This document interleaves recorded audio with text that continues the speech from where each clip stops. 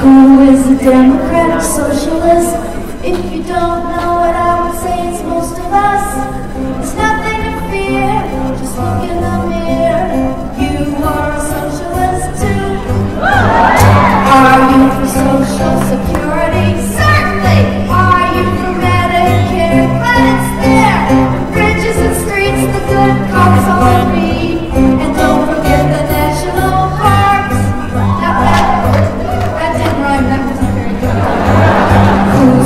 Democratic socialist?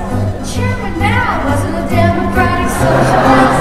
You won't be ordered to sing that international song or wear black pajamas like the Vietcong. If you really think about it, it's not radical. You can still be kind of rich, not incompatible. There's plenty to spare, just throw in your share. And don't you think everyone